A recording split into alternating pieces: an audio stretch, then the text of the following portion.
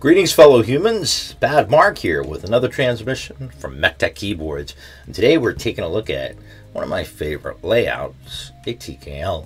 Now, this is a TKL from Redragon, and I know I recently did one on the um, low profile. This one's a little bit different. Um, I don't know if it's the newer or the older version. Um, Redragon has currently been updating all of their keyboards uh, with 3 and 5 pin hot swap compatibility as well as better dampening. But they do still have stock on several keyboards that still have the old MillMax style Outemu hot swap socket, so they'll only work with certain switches. Though they were will work with Gazzew switches, just so you know. Um, anyway, uh, they've sent me this keyboard out to take a look at. They kind of just let you know. They actually tell me like the day that I get tracking you know, that, hey, you're going to delivery today. I'm like, huh? And Redragon will email me, or they did this time anyway, they've done it before. They email me and they're like, hey, we sent you some keyboards. They should be there soon. And I'm like, yeah, I just got tracking information, or it just got delivered. and they're like, hope you like them. Let us know what you think. So uh, they've actually never said you have to review this keyboard, um, or I have to say anything. They've actually uh, told me a few times, because, and I know they watch my videos because they will mention it in you know emails that we go back and forth. Um, they'll say, "Oh, with that, you know, so and so, blah blah blah," and the, they have taken input that I've said, and they say we, we're taking it to the team. Now, are they really? I don't know if they're actually taking my input to the design team, but this is not the first company that has said so. So who knows? I'd like to believe that they're listening to me, and I'm hopefully being a good representative voice for the community, or at least a good portion of the community. And in the end, I just hope that this hobby gets better for all involved. I mean, if the corporations are going to listen, the manufacturers are going to listen, and they're going to provide us the products that we're looking for, then you know we're going to be happy, especially if they're in stock and at an affordable price. Because I mean, one shouldn't have to sacrifice a mortgage payment for a keyboard. Anyway, without further ado, let's go ahead and dive into the Vishnu. And here we are with the Redragon Vishnu K596 um, TKL. Uh, I do believe this is a three mode, yeah, wired and wireless, and it has um, the Chroma RGB. I I like RGB on my keyboard, but uh, beyond that, I mean RGB is nice for like lighting up under cabinets and, and dark closets and stuff like that. But um, more for utility than anything else. I'd like it on my keyboard. This is a, it does come with, I believe it's a magnetic wrist rest, and I forgot what size the battery is, but um, besides, what is it, the K1, there's not a lot of TKLs that are wireless.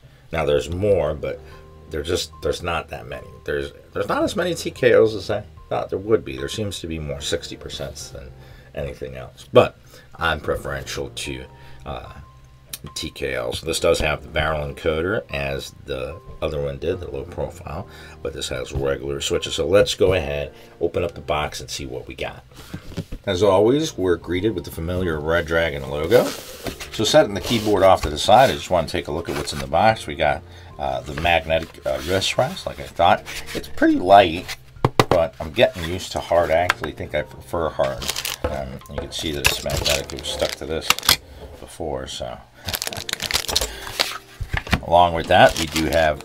I why that this is. I'm gonna guess this one's the Outemu because they don't they don't stick the um, plastic keycap pullers in there anymore. Please, if you get these, just throw them away.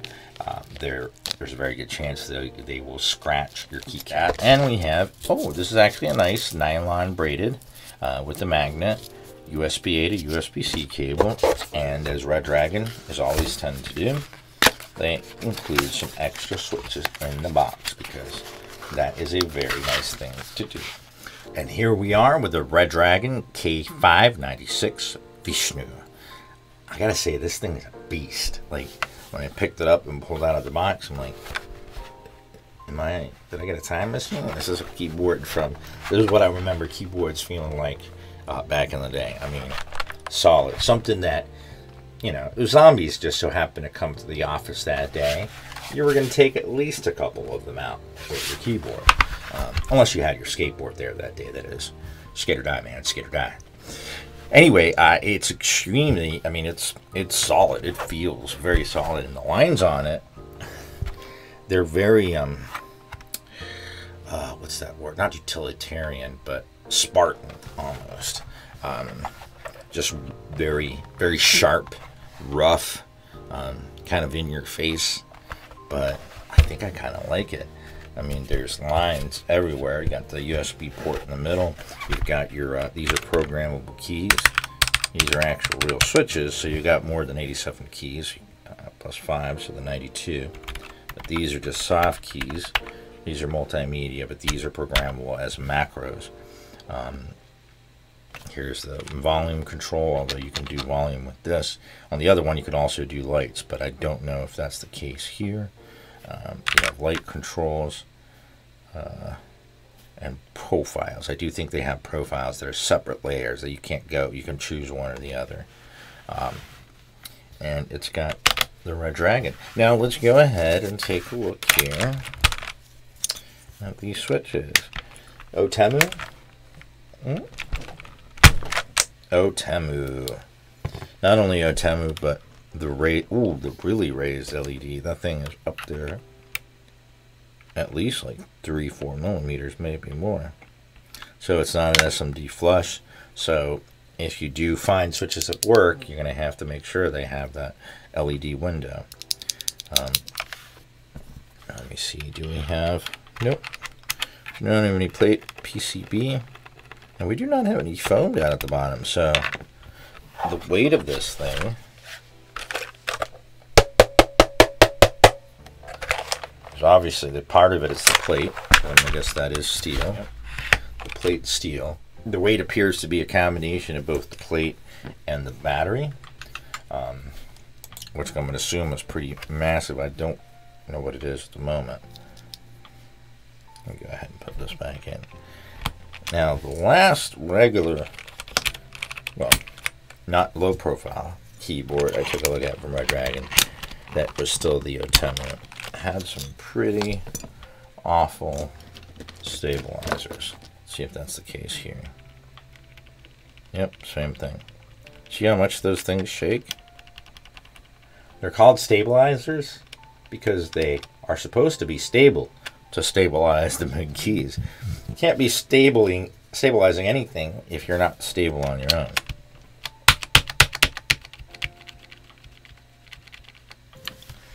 So you can hear what that sounds like.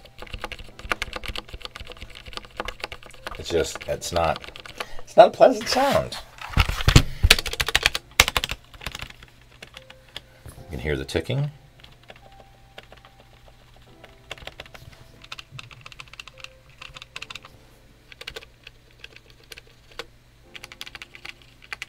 So, Redragon, I really, really, really, really, really implore you do better with your stabilizers.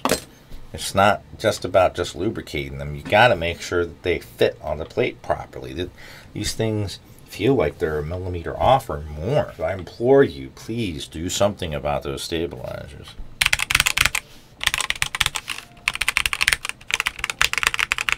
Otherwise, it sounds like your standard um, Redragon stock keyboard. And we do have the magnetic wrist rest. And, oh, that actually, that's a good wrist rest. Too many of the magnetic wrist rests, if you pull on it, it just comes off. This one actually pulls the keyboard with it. And like I said, this keyboard is heavy. So these are some strong mag. Wow. It's picking up. Oh, oops. So, um, that's a, um, that's a pretty good. Uh, this wrist rest is not going anywhere. It's going to stay there. And I actually like that it has a bit of a texture.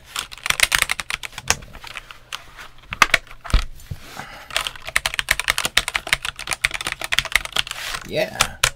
I got to say, this one's definitely one I'm going to come back to on mod. Let's go ahead and plug it up and see what the lights look like.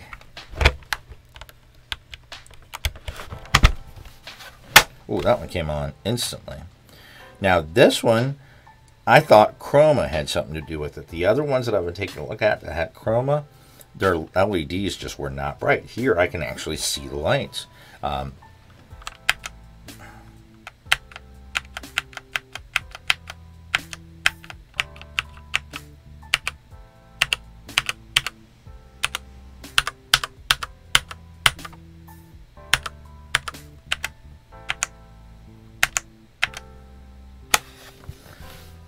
it's easy to figure out to get to the lights. We have multimedia controls on the function keys.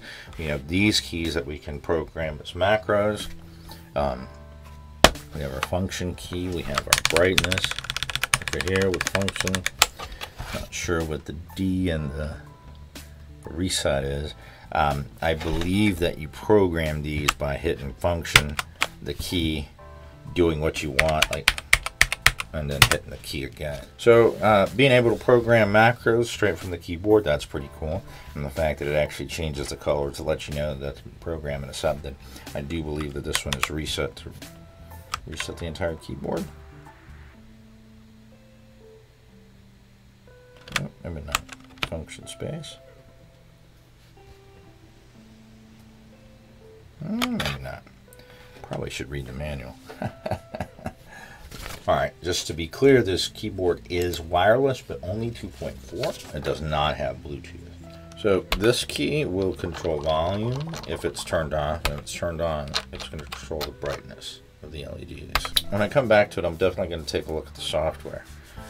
Let's get technical. Today we're taking a look at the K596 Vishnu, a two-mode TKL with 10 macros and a barrel roller from Redragon. This keyboard comes weighing in at 1,062 grams without the included magnetic wrist rest. It has a 2400 milliamp hour battery and it is compatible with Chroma RGB. It is preloaded with Red Dragon, Outemu unlubed red switches and includes absolutely no dampening for the plate, PCB, or the case. The chin of this keyboard sits low at 19 millimeters, while the back sits at 27 millimeters, providing for a default typing angle of 4 degrees. Extending the only included feet will raise the back up to 38 millimeters, providing for a default typing angle of 9 degrees. This keyboard manufacturer retails for $74.99. This keyboard is loaded with a 2400 milliamp hour battery, which is actually kind of big for Redragon. I don't know what kind of power savings they do, but they get a lot more juice out of batteries than I've seen other keyboards do. Um, this one, it comes extremely hefty.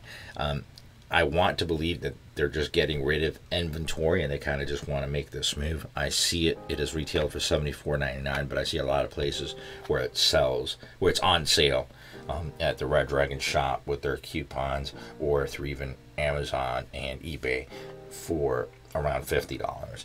So they're probably just trying to move stock so they can uh, introduce the new revision, which should have the uh, five pin compatible hot swap sockets. Uh, despite this being uh, one of the older uh, style PCBs with those MillMax sockets, I actually kind of like this. Um, I actually may end up using these. There are definitely things that I type out do many times a day and I do build in macros into function keys and I use them but just not as often because sometimes I'm like did I program this uh, I don't know. I'll just type it out. But this one I'll be able to just hit it and go. So um, I do want to get into this. I want to put some dampening inside of this keyboard and I want to switch out the switches for some lubed reds because I know um, the Redragon switches surprisingly enough, with a little bit of lube on the spring leaf and the uh, spring, they actually sound quite decent. They have a nice soft tap bottom out that is actually pleasant. So I'm actually surprised, but then again, I'm not. Anyway, um, this keyboard has it's it's not your easy portable keyboard. I think this this is meant more to be a, a LAN gaming keyboard. Like, all right, I'm taking my rig, you know, because this this weighs um you know a kilo over a kilo. So putting this in your laptop bag, which may not fit unless you have a 15 or 17 inch laptop. It's going to add some weight. So I don't think it's much of a powerful one, but it does have, uh, they said NKRO over um, uh, over the 2.4. They don't have Bluetooth 2.4 and wired, but I didn't see anything about the polling rate. So I don't know what the polling rate is over the 2.4, but I do know that a lot of people swear by 2.4 than Bluetooth. I personally have better luck with um, Bluetooth 5.0, but that's just me. Anyway, I'm going to go ahead and leave you guys with the stock sound test of this Vishnu K596. Um, there'll be links down below. I think I have a discount code as well um, in case you guys are interested in picking one up and taking a look at it. Or you guys can wait until they revamp it and uh, hopefully they'll send me one out to take a look at it then. But like I said, this one is um, it's interesting. So I'm to get in there and, and, take a look at it. I have not seen any TKL that has this body style. So, um, and the magnetic wrist rest on this thing is strong. It's almost surgically strong. So anyway, if you guys have any ideas, thoughts, suggestions for when I do come to this keyboard, please put them in the comments down below. Anyway, uh, leave you guys with the stock sound test of the K596 Vishnu from Redragon. And until the next transmission, do keep calm and keyboard on.